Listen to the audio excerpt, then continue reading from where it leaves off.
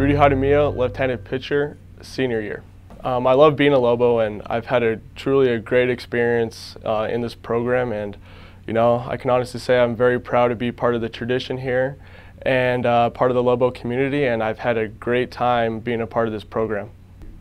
Well, for me, it stands for hard work, dedication, and a commitment to achieving a common goal. And last year, we were able to put that all together, and uh, you know, be, be able to achieve the Mountain West Championship and go on to a, a, another regional for the second straight year.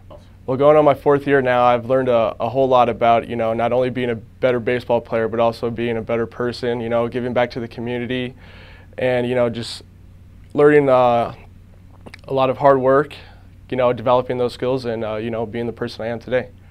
Well, you should expect us to repeat as Mountain West champions, champions and uh, get back to our uh, third regional in a row and hopefully go on from there and uh, make a super regional. And the ultimate goal is to reach it, make it to Omaha. So that's our plan for the year.